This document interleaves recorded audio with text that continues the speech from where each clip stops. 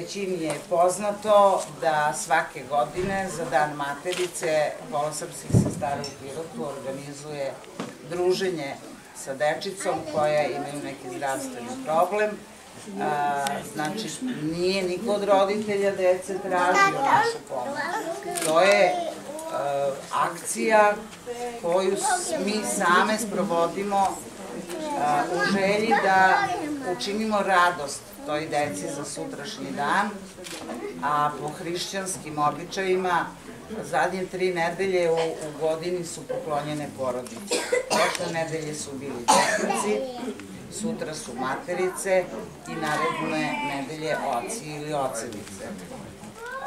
Za te dane su naši preci praktikovali da ili za detince majka zaveže dete pa da se ono iskupi nekim poklonom, a to je recitacija, crtež, a, prema mogućnostima.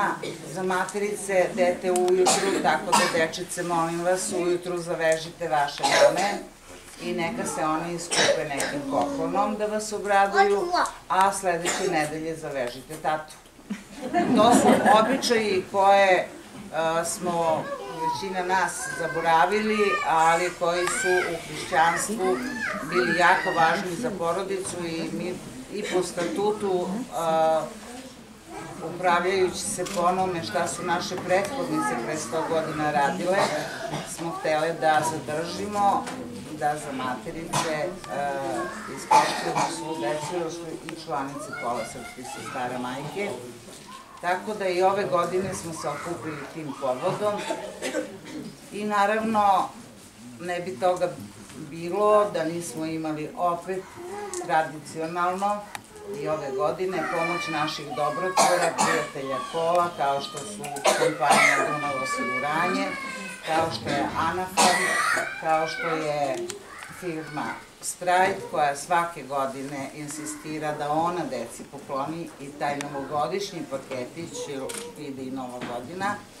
Tako da i zahvaljujući fondu Hristine Stefanović, naše pokojne članice, koji održavaju njena deca i koji povremeno uplaćuju nama sredstva, Zahvaljujući tome, mi svake godine okupimo onoliko dece za koliko možemo da obezbedimo sredstva. Videli ste, prošle godine nas je bilo 60 nekoliko, sada, nažalost, 43 dece, ali ja se nadam da će biti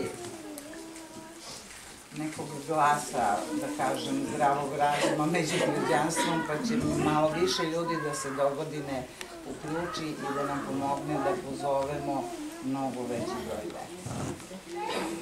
Mi smo dečici spremili po jedne pidžame, peškir i nešto malo za njihovu ličnu higijenu, a firma Strajk je obezbedila, da kažem, novogodišnje paketiće.